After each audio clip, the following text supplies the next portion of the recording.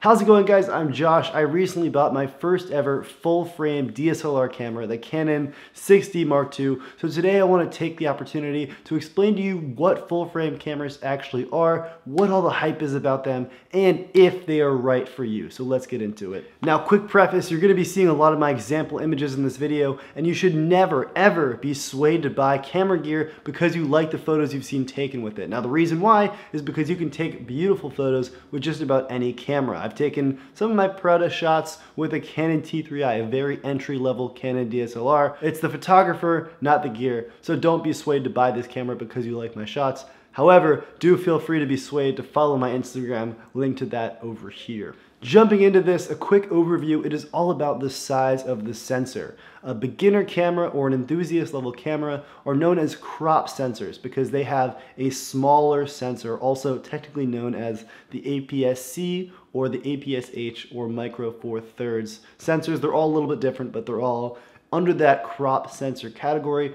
The next step up, we have the full frame camera. This is what a lot of professionals use. And the next step up, we have medium format and large format cameras, which have even larger sensors, of course. And this is why people drool over Hasselblad's and the X1D, which is a medium format camera. I know that got a bit complicated. What does it all actually mean? Now, the bigger the sensor, the bigger the image you're actually taking, and with that, the more zoomed out you actually are. Because crop censored cameras are literally cropping the image between 1.3 and 1.6 times, which is a lot of lost space. And that is the most general overview possible, but let's dig into it a little bit more with the pros and cons of full frame. So number one major pro is that people like it big. The bigger your image, the more flexibility you have with things like printing. This is a printing size chart, and let's actually break down the types of cameras we have. With a crop sensor camera, you're probably shooting between 18 and 24 megapixels, which can still print you out a pretty solid image.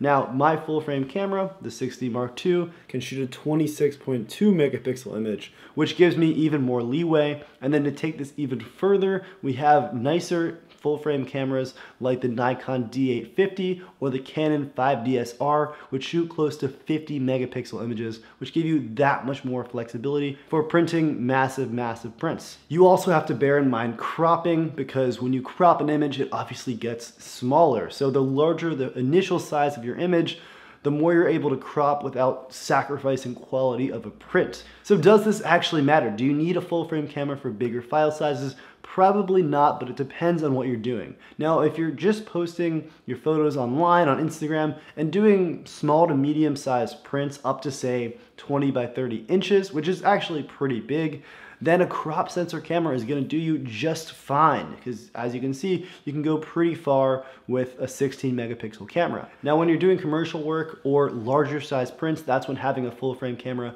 really does become beneficial. Now, I've been shooting with a Canon 70D, which is a crop sensor camera for the longest time. And normally it was perfectly okay for doing prints. However, the only times it would really become problematic is when I wanted to crop the images a little bit more than just a bit. And as soon as I got to be doing these larger crops, the image would become a little bit too small for larger size prints. And I print up to 20 by 30 inches, which is fairly big. If I were to have taken these images with a full frame camera, I'd be given much more leeway as far as cropping goes before sacrificing too much quality. And reason number two is low light. This is probably the biggest reason why people like going full frame. Full frame camera sensors have more of these things called photo sites on them, which are light sensors, which allow the camera to perform better in low light with less noise. And for those of you that don't know, if you've ever taken a photo at night and you see the photos a little bit grainy, that is noise. And the larger your camera sensor, the less noise you're gonna get. Now this all comes down to your ISO. Basically, you can shoot with a much higher ISO while still getting pretty good performance and it not being too noisy or grainy. So for example, this photo I shot at ISO 8000. And this is with a 5D Mark IV, but still,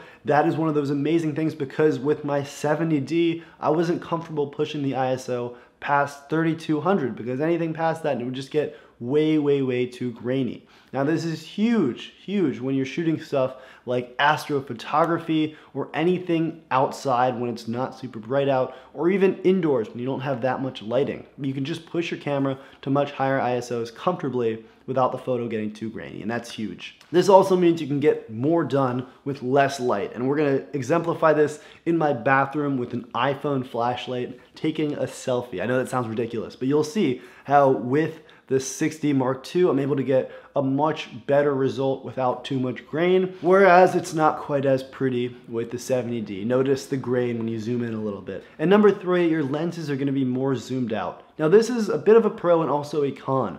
On one hand, because your lenses are more zoomed out, you're able to get closer to your subjects and as a result, get more depth of field, which is great for portraits. Now, if you have full frame camera lenses like the Canon L series lenses, then you are gonna be good to go and you're getting more out of your lenses once you go full frame. However, if you have crop sensor lenses, this is the major downside because some lenses meant for crop sensor cameras will not work on a full frame camera.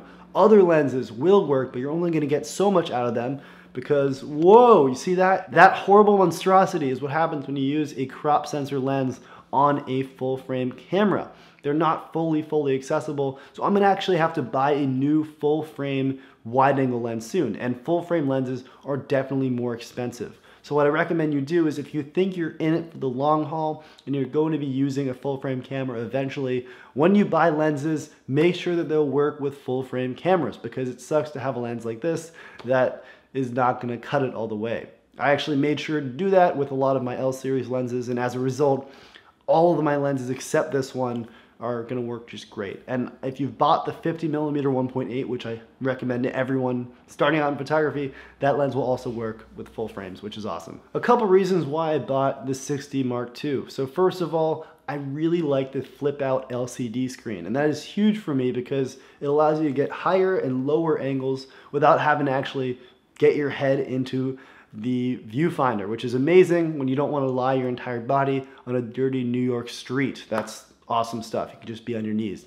Additionally, I like how small and lightweight it is. A lot of full frame cameras are much larger and heavier than crop sensor cameras because with the larger sensor and more features comes just a larger body.